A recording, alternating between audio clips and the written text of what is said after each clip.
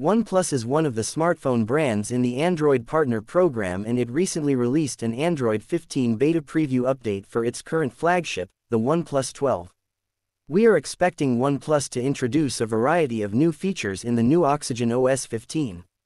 OnePlus is seemingly adding a privacy-focused feature called Privacy Watermark in Oxygen OS 15.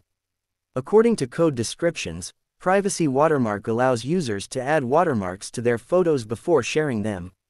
However, it's still unclear how this watermark will prevent misuse of documents or photos. You will be able to add a watermark to your photos by going to the Photos app then edit and watermark. OnePlus already offers watermark options on this menu.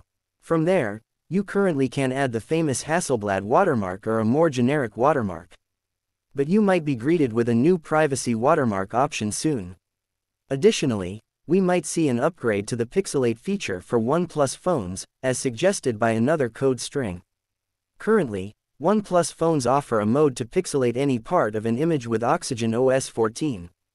However, with Oxygen OS 15, there will be a new Auto Pixelate 2 feature that, as the name suggests, will automatically pixelate your private information. Since OnePlus Oxygen OS shares the same codebase as Color OS, these features might also appear in Oppo and Realme phones running Android 15.